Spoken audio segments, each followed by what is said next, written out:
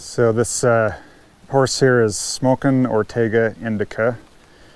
He's um, a two-year-old bay AQHA gelding that will be turning three in July of this year. So I just want to show you a few things that we've done with this horse. And if you can keep your sound enabled during the video, there'll be a lot of description as to um, what the good and bad about him is. So thanks for watching.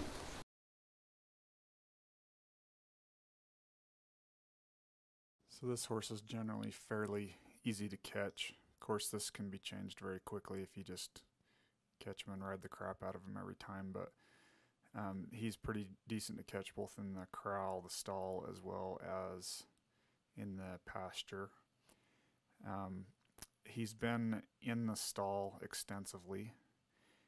He's been in the corral probably about a third of his life since we've had him, and um, then he's been in this small pasture um, for just the last couple months, and he's been in a much larger pasture all of last summer. And we've never had a problem catching him outside of him maybe wanting to run away just for a second or two, and then and then just allowing us to do it. So. Um, we've put shoes on him two separate times and um, both times he was decent to handle. He's had his feet handled pretty much daily when he's been ridden, as far as just picking them up, uh, picking out the feet, and that kind of a thing. Um, I wouldn't say he's perfect to shoe by any means, but he's certainly not bad to shoe either. Um, and so that's one decent thing about him. Um, a little bit about this horse. Uh, I picked him up back in March of 2018. He was a long yearling at that point, and I bought him just strictly to start him and then sell him. Um, we've kept him a little longer than we do some, uh, simply because my daughter's been interested in riding him, and so he's got a ton of miles on him. Um, he's really good just in general to be around. We've had a lot of groundwork done with him. Um, you know, literally dozens, probably hundreds of hours of groundwork. Um, and he's been handled by several different people on the ground, so he's really easy to, to deal with. You can see in this video he's not tied up. Um, I wouldn't say that he wouldn't walk off, but he's really good to just stand and and uh, be saddled um, and be handled. So another thing that we've done extensively with this horse is he's been tied a lot.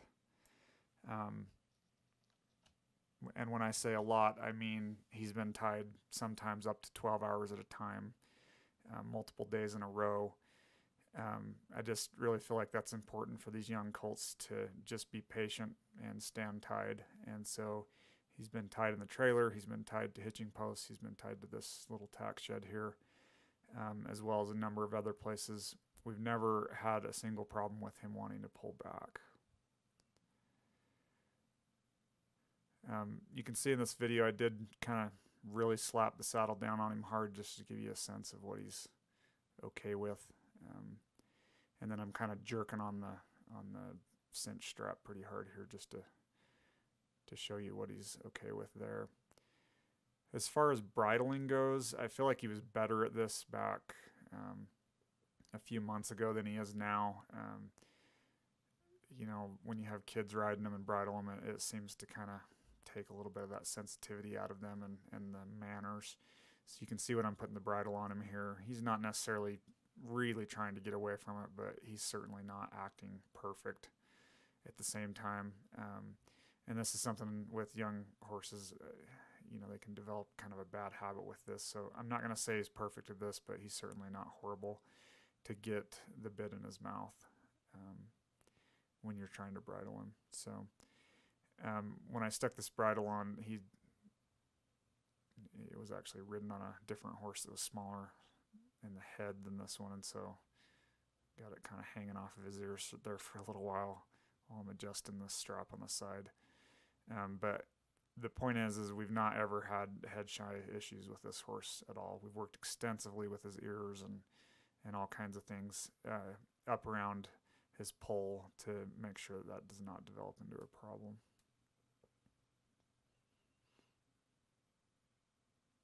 You can see here we've taught him to put his head down.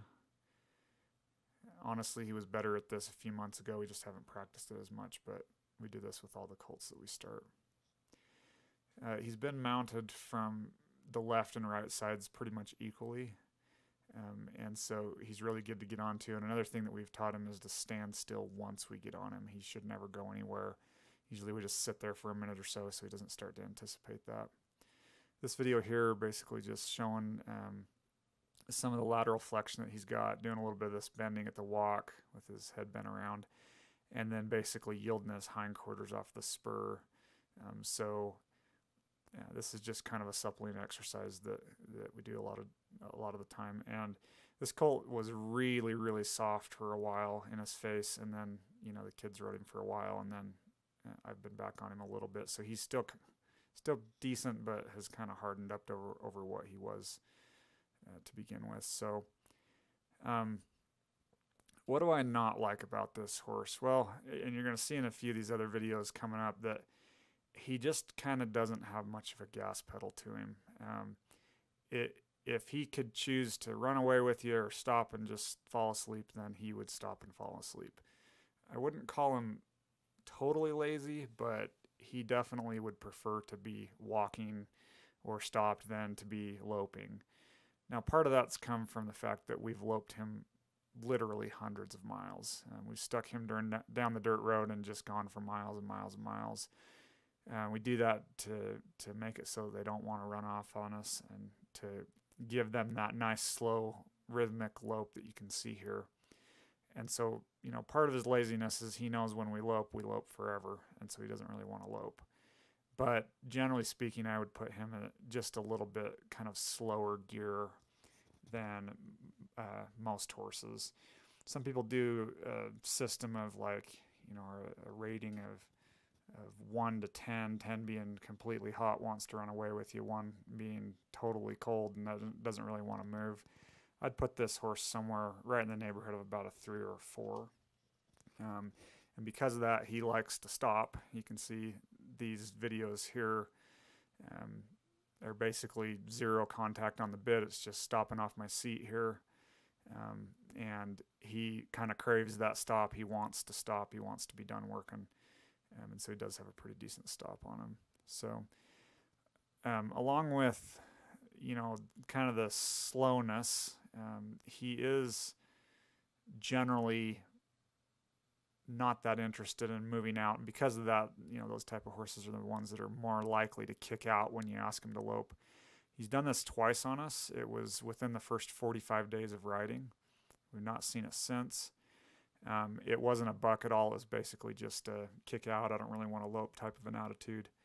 Um, and um, so that's something you kind of need, need to be aware of. We've seen this happened in other colts that we've started. And really, the bottom line is when they do it, you really need to make sure you get after them and make them lope. And so once we rode him through it, he was really good to to do this. So I always get asked if the colts know their leads. This horse is a left lead dominant horse. You can see in this video here. He's counter cantering. Um, and I did that on purpose to kind of push him into um, that right lead going to the left. Um, I wouldn't say he's great at his leads. If you know what you're doing riding, you'll be able to get him into him, but we've not necessarily practiced it to any great degree. So um, he's got that nice, slow kind of dog trot. Doesn't really want to cover a ton of country. Um, and then this is just one or two little videos of some basic groundwork. He's had a ton of groundwork, and I didn't want to bore people with with a bunch of videos on this, but suffice it to say, he backs really well. He yields hindquarters, forequarters, lunges, all the typical um, groundwork exercises that you would see with pretty much any trainer's type program. So um, he's real good about all of those. Can't say that we've done a ton of them recently, but he's certainly had a lot of it done. So, um, what's the worst thing this horse has ever done? Uh, I laid him off for about two months somewhere around probably the 1st of November. Got back on him uh, end of December and basically just took off, didn't do any groundwork or anything. Riding down the road, and this big black 90 pound dog comes out and tries to bite him on his heels, growling at him and really aggressively chasing him. Um, and this colt kind of tried to, I don't know if I'd call it run off, but he was definitely going somewhere. Um, and, you know, really had to work to kind of get him reined in. It, it kind of wasn't fair to him because, you know, I probably should have ridden him in the arena for a day or two before I just took him off down the, the city streets. But um, that's the worst thing he's ever done. Um, and to me, that was relatively mild. Now, having said that, if if some kid had been riding him in that situation, they probably would not have been able to get him stopped. So, um, but that's really the the worst of of anything that he's ever done since we've had him. Um, so my daughter started finding some interest in this horse and, and rode him a couple times and really started to like him. So she asked if she could ride him quite a bit more. So she's been riding him for really the last two to three months, um, quite consistently. And um, he's really been good with her. You can see there where you know she's putting the saddle on. Her saddle's so heavy she can't lift it up without the the little steps. Um, here she's yielding his hindquarters. Um, doesn't have spurs on, but still he's you know relatively good at listening to this and and you know flexing her around here. Um, so you're gonna notice in these videos with my daughter riding him that he really doesn't want to go anywhere, and this is exactly what um, he's like. So. Um, he just she'll ask him to lope and he kind of doesn't really want to um, and that kind of a thing so She's ridden him quite a bit at the arena and has taken him to the barrel races, to these little time time only events. You can see here a big group of horses warming up for the next event, and, and he's handling the commotion of all the horses really well. This is something that I don't really feel like is that common in a two-year-old. He's he's definitely handling this better than pretty much any that we've trained in the past. He's totally okay with being around other horses and, and a lot of commotion. Um, we've had him in the arena a lot. He's been ridden probably at least a third of the riding we've done has been in the arena. Um, and because of that, he's been exposed to a lot of stuff at the arena. We've been there during mounted shooting practices where he's been exposed to gunfire, um, you know, and uh, you know tractors, um, other horses, all kinds of things. So, right here, I told my daughter to really get him loping out and make him move. That's about as fast as she can get him going and then she does a one rein stop here where she sits down and she's not really heavy enough for him to um, to feel her in the saddle but um, you can see he stops a little bit there so this is actually the first time she ever quote unquote barrel raced him um, and this is a time only event but um, you know just really kind of keyed down like he typically is you can see him drifting to the left there which is basically him wanting to go back to all the other horses um, and uh, anyway. So, you know, I guess the biggest thing that he's taken out of the time only barrel race events is he's been exposed to a lot of the other horses. You know, they'll go back and stand by the other horses and, and just a lot of um, stuff going on, and he's really taken all that stride really well. You can see as she goes past this last barrel, she asks him to lope. Again, she's trying to get him to go fast back home, and this is about as good as it gets as far as a kid being able to make this run, this this horse run. So um, this uh, horse has been ridden a ton in um, the mountains, in the foothills, and around town, and on the dirt roads. You know, I would anticipate this horse has probably had close to a thousand miles put on him um, in the past year. Um, this is just a little gully, a little canal that, that runs down through here some trees in it just to kind of give you a sense of, of what he's like, not necessarily in the mountains, but um, just kind of in varied terrain. Um, he's been on some big long rides, you know, seven, eight hour rides, um, and has been in some really rough terrain. Um, and so, and he's done really well. He's actually, I would say, better than average when it comes to the mountains. Really good across water and bridges, and and just picks up his feet over the deadfall and and uh, likes to just kind of power his way up the hills and, and is pretty decent in that setting. Um, you can see there he's pretty decent with mud too. We've ridden him in a number of situations where he's been in the mud. So um, this horse has been ridden by myself and my daughter, and then three other individuals. So he's been exposed to quite a few different people, um, and he's done fine with with everyone. Um, he's been ridden around dogs quite a bit, um, so he's gotten used to that dog jumping in out of the brush, and uh, has done really well with that. Um, also has been exposed to traffic a lot. We've had him in a lot of instances um, in town with traffic going by, four wheelers, side by sides, you know, vehicles. And then we've also loped him down the borrow pits along Highway 89 in Mount Pleasant, um, between Mount Pleasant and Fairview and, and uh, Spring City. And so in that case, we've got semis and cement trucks and you know dump trucks and things like that passing at 70 miles an hour, and he's not ever had a problem with traffic I mean, is very desensitized, a lot of experience with that. So um, this horse has had an, a, a lot of really high intensity uh, rides. You know, some people call these wet saddle pad rides. Um, you know, he's come back just dog tired um, in several of the rides that we've done. Um, and like I said before, he's been on an awful lot of long rides where you know he's he's been under saddle for three to eight or nine hours at, at any given time. So, so what's his personality like? Well, he's not an in your pocket horse, but he's pretty personable. He likes to come up to you when you come in the pasture. You can see here he's coming up and wondering what the camera is.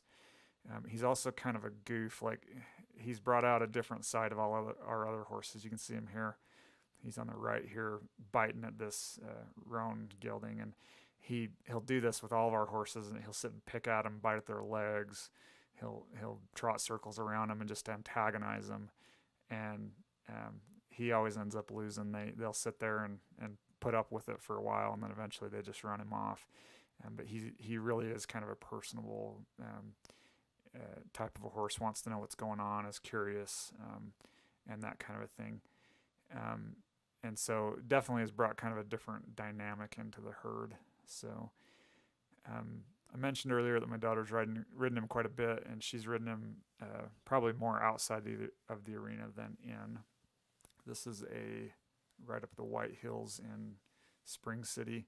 We got into some really deep snow this day, up to you know almost to his chest, um, and he he did really well on this ride. And this is basically in February of 2019, and and uh, just really has done very well. Of course, by this you know video here, he's had hundreds and hundreds and hundreds of miles in the, in the mountains and the foothills. Um, this is basically coming down a hill. This is actually quite a bit steeper than it looks in the in the uh, video here, and it was pretty muddy this day. This kind of a south-facing slope that had melted off. Um, and he does really good with this kind of stuff. So he doesn't really want to rush uphill or rush downhill. He just kind of takes his time, which is something we had to teach him. So, um, you know, we have this perspective of, we like to put just a ton of miles on our colts, and, and maybe that comes at the cost of, of having a, you know, sort of a decent handle on them. Um, I, you know, always feel like I'd rather have a, a solid broke horse that's got a lot of miles rather than just to have a perfect stop or, or a spin or things like that. And so, you know, is he the best broke horse when it comes to some amazing handle as far as being able to really slide to a stop or neck rein or spin or things like that? No, he's not. He's not at that stage right now. But I can tell you, he's had as many miles as just about any two-year-old coming on three-year-old that I know of. Um, and so you can see here that uh, biker going by. So, so Am I selling this horse as a kid horse? No, not necessarily. If you've got a older child or a teenager that's confident with horses, then I think in the right situation he could be fine, but he still is a two year old and people need to still recognize that. Um, you know, I really do like this horse though, and I think he's going to make someone a heck of a good mount. Um, feel free to give me a call or text me from the number in the ad if you're interested. Be happy to have you come and uh, take him for a ride and and uh, get a vet check done or anything like that. Um, to see if he'd be a good fit for you. Thanks.